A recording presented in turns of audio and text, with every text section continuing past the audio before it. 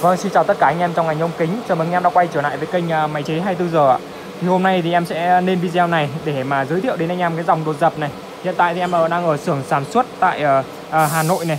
Đấy, để giới thiệu cho anh em cái dòng sản phẩm máy đột dập 7 dao tích hợp tất cả các chức năng và tiết kiệm cho anh em cái chi phí đầu tư cho nó ờ, tiết kiệm nhất có thể đấy thì uh, bây giờ em sẽ là vào chi tiết của con uh, máy đột cho anh xem xem anh em xem qua trước thạo để tham khảo.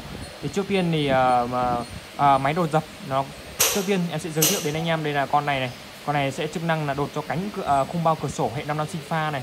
Con thứ hai nó sẽ đột cho anh em đấy là uh, cánh cờ đi và khung bao cờ đi của hệ 5 năm sinh pha cây vĩnh kiều hai hạt Ờ, à, con uh, ờ, thứ ba nó sẽ làm cho anh em là cánh cửa nùa của hệ 5 năm uh, vắt cạnh lẫn của hệ 5 năm sinh pha này đều đột trên trên một con một con dao này.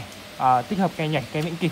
Anh em muốn làm cây vĩnh cửu thì để nguyên cái lỗ oval này lại à, à tháo cái lỗ oval này ra.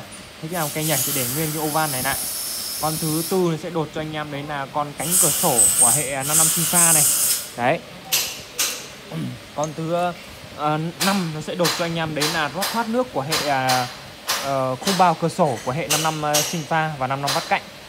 Con thứ um, 6 nó sẽ đột cho anh em. Đây là con uh, đột gân này đột gân của cửa nùa đấy. Đấy của hệ uh, 5 năm vắt cạnh. Đấy con thứ bảy này. Uh, con là con dao cuối cùng nó sẽ đột cho anh em là hệ 36 này. Cây 36 này khi hợp cả làm cả cây nhảy cả cây vĩnh kìm như anh em thấy trên màn hình ấy đây là có con ốc trí này. Em chỉ cần uh, lấy con đục rác tháo con ốc trí này ra thì sẽ làm uh, được cây vĩnh kìm ngay. Đấy mà mới làm mới khi làm cây nhảy thì anh em để nguyên oval này lại để làm cây nhảy máy thì uh, sử dụng uh, tông cổ lớn khi cổ hổ bê tông này của bê tông 25 nhá. Đấy nó cực kỳ dày chắc chắn. Trọng lượng của máy đang là hai uh, sáu trọng lượng của máy đang là 54 kg đấy 54 kg uh, gửi qua giao hàng tiết kiệm hoặc là gửi qua xe cho anh em uh, đều được. Uh, máy thì bảo hành cho anh em là hai năm trong quá trình mình sử dụng. Uh, nỗi uh, nôi nhôm móp nhôm. Đấy anh em uh, nếu mà kết thì cứ nhắn tin qua Zalo. Thì uh, nhân viên sẽ hỗ trợ cho anh em về giá cả và uh, phụ kiện và cách uh, sử dụng để anh em có thể là đầu tư một cách hiệu quả nhất.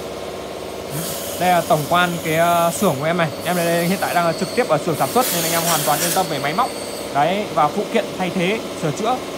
Uh, anh em có nhu cầu thì liên hệ đến số hotline của uh, ở bên dưới màn hình. Nhân viên sẽ hỗ trợ anh em. Và cảm ơn em. Anh em đã xem hết video và hẹn gặp lại anh em ở những uh, video kế kế tiếp ạ.